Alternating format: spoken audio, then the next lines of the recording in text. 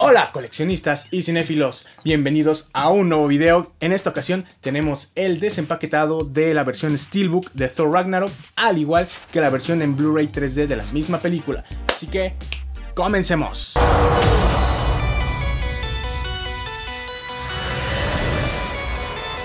Where are we? You have no idea. Hello, the goddess of death has invaded Asgard. Y bueno, como al igual que Coco, Thor trajeron la edición nacional de este Steelbook, lo cual está súper bien. Ya tenemos mucho más ediciones especiales traídas hacia nuestra nación. Y bueno, empezamos aquí con la portada que tenemos que es Blu-ray más DVD de la película. Es un Steelbook coleccionable. También tenemos esta imagen de Thor y el logo de Marvel Studios y el título Thor Ragnarok con especial resaltado en las letras, así que eso me gustó. En la espina tenemos Marvel Studios arriba, después Marvel Studios, igual el logo y abajo Blu-ray. Del otro lado pues es la abertura y la, en la parte de arriba no tenemos nada y en la parte de atrás tenemos dos discos, tenemos el disco 1 que es Blu-ray de la película más material extra que tenemos ver película con introducción del director Taika Waititi, cortometrajes, bloopers, el equipo de Daryl, alerta spoiler y mucho más y en el disco 2 tenemos DVD de la película, una pequeña descripción o resumen, trama de la trama y aquí una imagen con todos los personajes. No hay ninguna cita de espectacular, la mejor película de superhéroes, bla bla bla. No. Especificaciones técnicas en la parte de abajo. Presentación 1.78 a 1, widescreen, audio inglés y español, subtítulos inglés y español, los respectivos créditos y logos de la película con Marvel Studios y Cinecolor México, que es la compañía que se encargó de traerla a nuestro país, lo cual está súper bien que Cinecolor ya se esté poniendo las pilas para estas ediciones. Vamos abrir ya la edición. La adquirí a través de Mixup, ya la había apartado y hasta hace este fin de semana fui por ella. Y bueno, tenemos ya aquí, retiramos el cartoncillo con cuidado. Igual, muy fácil de quitarse, lo cual está muy bien. Y no deja residuos en el steelbook aquí. Y aquí tenemos la portada que está bastante bien. Los colores me gustan. Como, como este color rojo este, con Thor en medio. Las letras, como lo dije, están resaltadas. Están muy bien. La espina en la parte de arriba. Y vemos la contraportada que tenemos aquí. El casco de gladiador que usa Thor cuando tiene este enfrentamiento con Hulk. Abajo el logo de Marvel Studios. 2017 Marvel.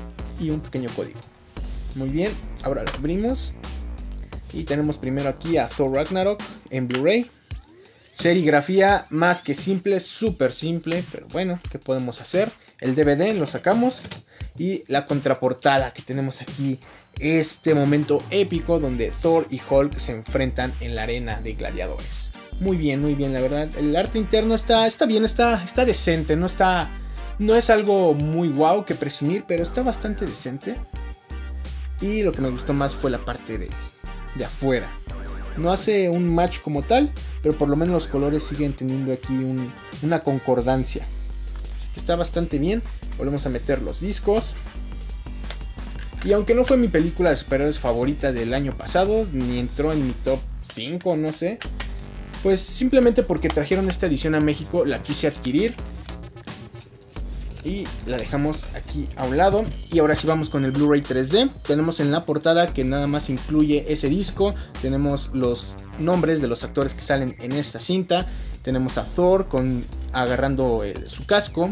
Y tenemos el logo de Thor Ragnarok que está un poco resaltado, no es mucho, pero bueno, un poco en la espina. Tenemos Blu-ray 3D, Thor Ragnarok y el, el logo, bueno, más bien el rostro de Thor y Marvel Studios. En la parte de atrás solamente tenemos un disco que es el Blu-ray tenemos, eh, yo creo que sí es la misma descripción de la película, las mismas imágenes, solo que acomodadas de una manera un poco distinta. Tenemos un, pequeño, un pequeño instructivo para saber cómo tienes que ver estas películas en 3D por si ya se te ha pasado los últimos 5 o 7 años que han vendido este tipo de discos. Igual las especificaciones, los créditos, logos y todo lo respectivo. Así que bueno, un slip pues sencillito, pero por lo menos nos, incluyeron este slip. Que esta película se la compré a mi amigo Alejo, que es mi dealer nacional de confianza. Muchas gracias, bro. A un super precio, la verdad es que sí quise aprovechar. Y bueno, vamos a abrirlo. Vamos a un lado. Y bueno, tenemos prácticamente lo mismo. Es lo mismo. Solo que aquí ya no nos incluyen, nos dicen el Blu-ray 3D, nos lo ponen en la parte de abajo con las instrucciones. Pero bueno, prácticamente es lo mismo. La espina, todo es lo mismo. Así que lo retiramos y tenemos el Blu-ray 3D. Simple, sin nada de arte. Pero bueno, eso es lo que siempre voy a recriminar de Marvel, que no tiene serigrafía en sus discos. Y ya, eso es, eso es prácticamente todo lo que nos incluye este Blu-ray 3D. Lo volvemos a introducir.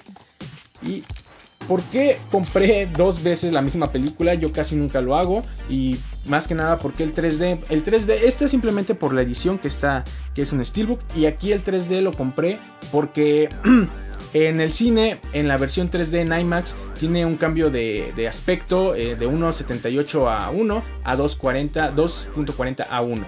Así que por eso lo compré el Blu-ray 3D porque al igual que en, con otras películas de Marvel ha tenido este cambio de aspecto, lo cual me gusta a mí mucho y por eso la, adquirí para tener ese cambio de aspecto cuando la vea y esta pues simplemente por la edición tenerla en la colección. Así que bueno, eso es prácticamente todo de mi parte, cinéfilos. Por cierto, ya también pasé por, en Liverpool por el Digibook de la Liga de la Justicia, va a ir en un próximo video, así que no se lo pierdan. Recuerden, para más unboxing, para más opiniones, cine de televisión, todo y también voy a hacer una transmisión en vivo el día lunes 19 de marzo, si no me equivoco.